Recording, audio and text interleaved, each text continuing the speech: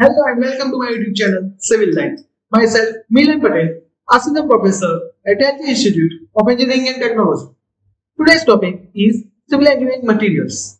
This is the fourth lecture of this chapter. In previous lecture, lecture number 3, we have discussed two topics, two materials which is stone and aggregate.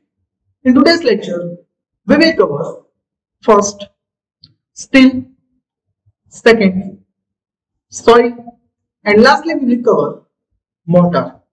Okay. So without wasting much time, let's begin with steel. In this material, we will discuss first what is steel. Okay. Then we will discuss various types of steel.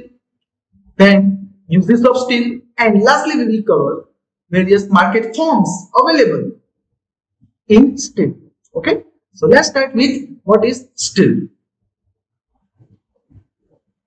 Steels are essentially alloys of iron and carbon, but they always contain other elements, okay, either as impurities or alloying elements.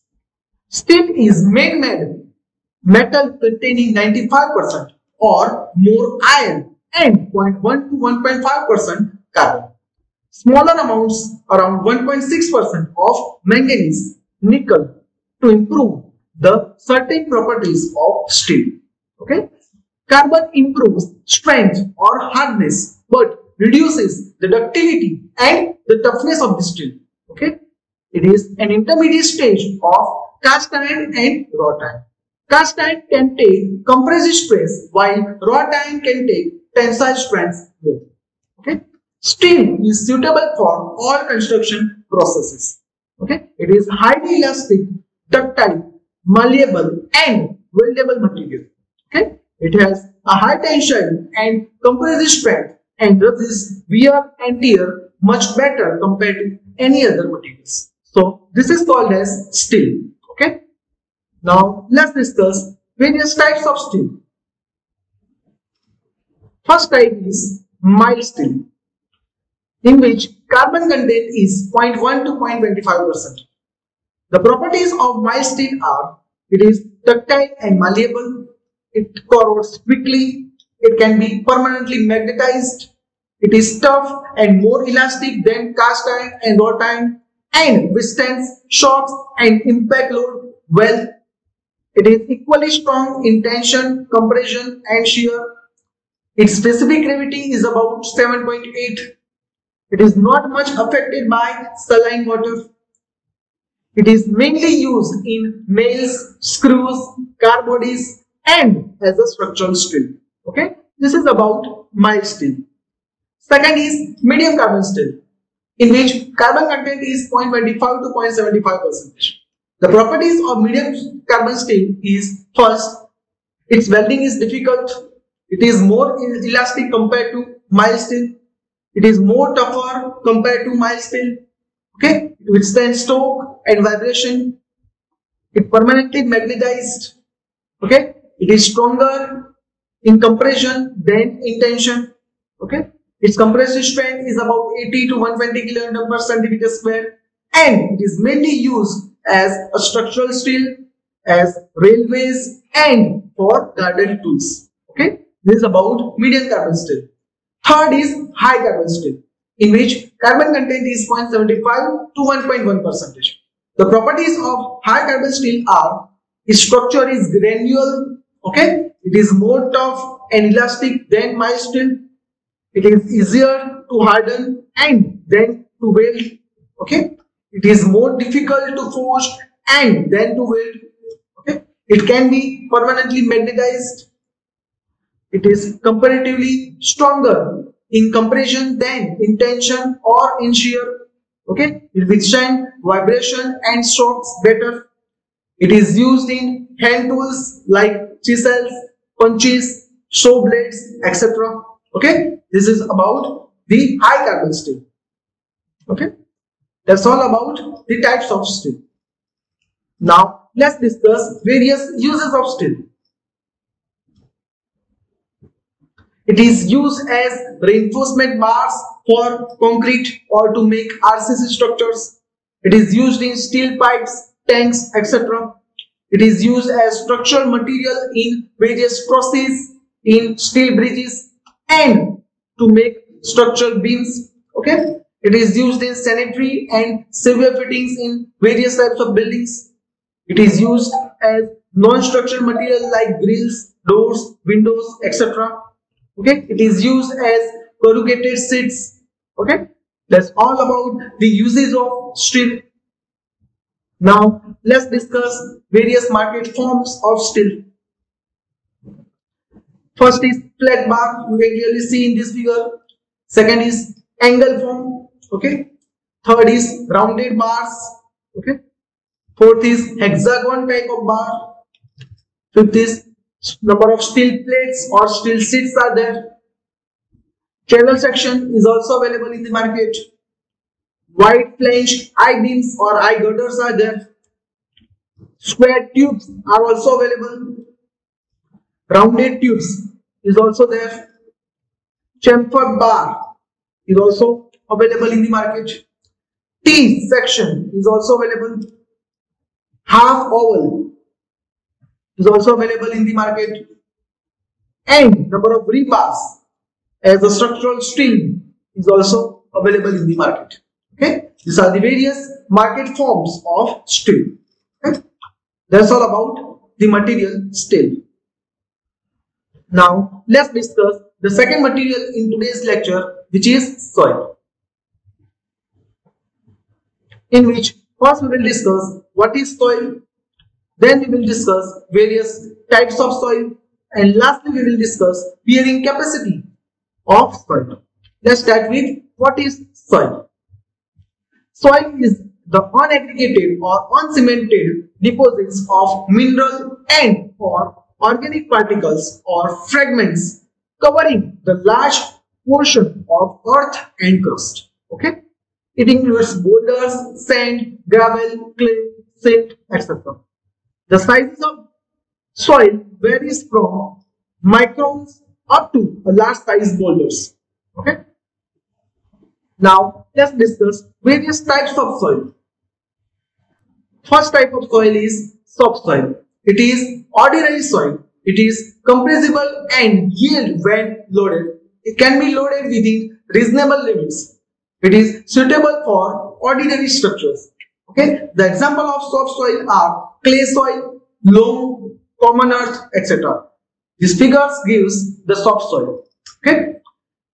Second is spreading soil. When this soil is loaded, it spread out beneath the structures. It is non-cohesive and give way to lateral escape when loaded. If the soils are confined, they are compressed and can be loaded considerably well. Okay. The example of spreading soil are sand and mortar. Okay. Third is hard soil. It is incompressible and strong without yielding. It withstands very heavy loads compared to soft soil and spreading soil. It is suitable for heavy structures like multi-story buildings, overhead tank, etc. The example of this hard soil is rocky soil and stony soil. Okay, that's all about the various types of soil. Now, let's discuss bearing capacity of soil. The capacity to withstand maximum load without yielding by soil is called as bearing capacity of the soil. Okay, it depends on characteristics of particles like cohesion, fineness, compactness, etc. Okay. Rocky soil and sandy soil have more bearing capacity compared to clay soil. Rocky soil have highest bearing capacity than the other soils. Okay. Bearing capacity of soil is used for designing foundation of the structure and for selecting the various type of foundation for the buildings. Okay. That's all about the bearing capacity of the soil. That's all about the second material soil. Now let's discuss the last material in today's lecture which is mortar. In mortar we will see first what is mortar, various types of mortar, then we will discuss various functions of mortar and lastly we will discuss various qualities of good mortar. Let's start with what is mortar. Mortar is a material used in masonry construction to fill the gaps between the bricks and blocks used in construction. This is called as mortar. Okay.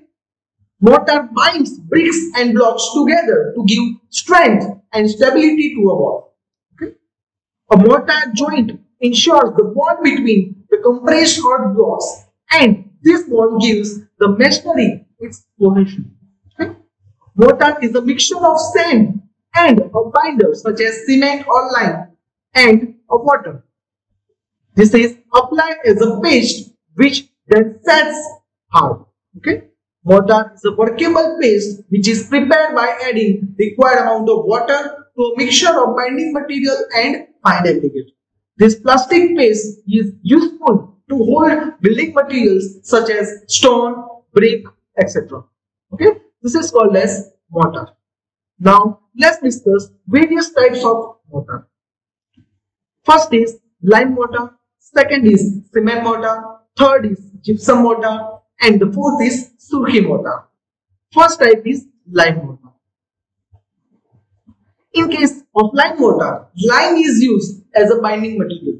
There are two types of limes namely fat lime and hydraulic lime is used for preparing lime mortar. Okay. Here in white color you can see the lime mortar. Okay. Fat lime in lime mortar requires 2 to 3 times more strength compared to the hydraulic lime and it is used for driving. Hydraulic lime and sand is in proportion of 1 and 2 will give good result in damp conditions and also suitable for water waterlogged areas. Okay, the lime mortar has high plasticity, so it can be placed very easily in any conditions. Okay, that's all about the lime mortar. This is basically used in foundation. Okay, second is cement mortar. This is called as cement mortar. In this, cement is used as a binding material and sand is used as a fine aggregate. Okay? The proportion of cement and sand is decided based on the specified durability and working conditions. Cement mortar will give high strength and resistivity against the water. Okay? The proportion of cement to sand may varies from 1 by 2 to 1 by 6. Okay? That's all about the cement mortar. Third is gypsum mortar.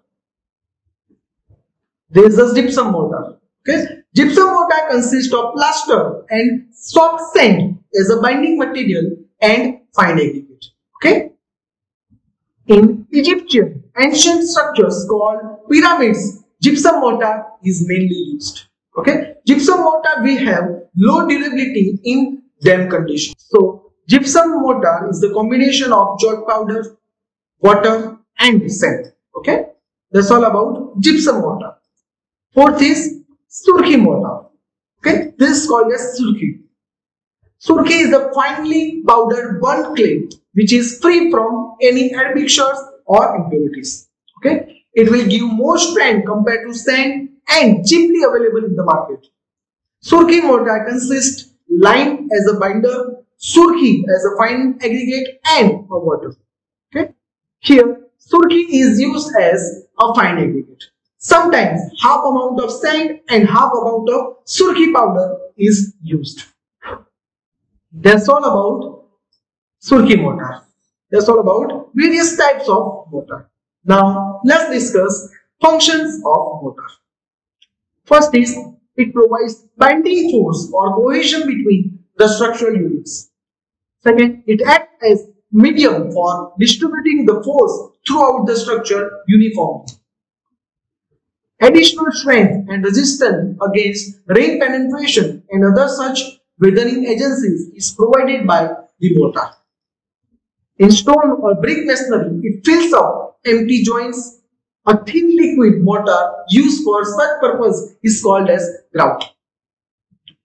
It does pointing or plastering to the structures. Okay, these are the various functions of the mortar. Now let's see the qualities of good mortar. It should be easily workable. It should set and harden quickly so that construction could be done with speed. Okay, it should not develop any cracks on drying. Okay, it should be durable or long lasting. Okay, it should be capable of developing the design stresses. It should be capable of resisting penetration of rainwater and it should be cheap and economical in the various areas. Okay, these are the various qualities of good mortar Okay, that's all about the mortar I hope you all understand these three materials steel, soil and mortar See you soon in the next lectures. Thank you for watching. Don't forget to like, share and subscribe to my YouTube channel Civil Line. Thank you.